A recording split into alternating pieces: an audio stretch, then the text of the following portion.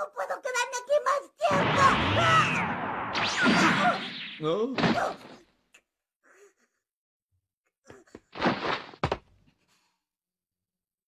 ¿Por qué me pegaste?